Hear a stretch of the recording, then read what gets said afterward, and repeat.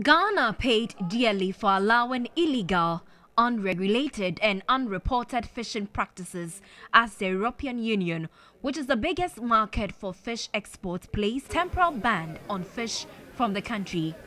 The development prompted policymakers to revise the laws and called for their enforcement. Yet many stakeholders are opposed to the effort by the sector ministry leading to violent confrontations. But one traditional ruler, Nana Kodwo Condua, out of his own volition, ensured Elmina is not part of those.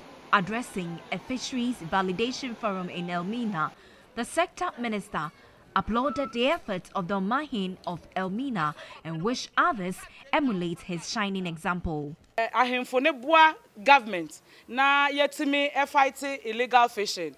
We need the chief to support us fight illegal fishing, just like Nana Condua is doing here in Elmina.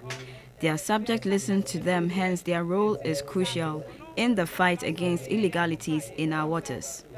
We are pleading with all to join us eliminate the wrongs.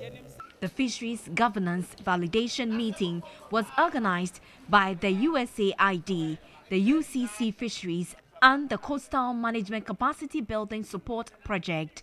The issue we are talking about here require both medium to long-term solutions that we are interested in. So even though the result may not be here right now and the consequences may not be very palatable, we know that at the end of the day, the result that we get in the long term, particularly as you consider the fact that a lot of our uh, fisher folks along the coast solely depend on fishing for their livelihood. And if it is not there, the question is, in the long term, what will happen?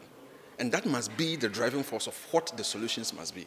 The meeting brought together sub-chiefs, queens and fishmongers within the Edina traditional area. The participants enumerated the challenges they are facing in the industry and suggested some ways in curbing them.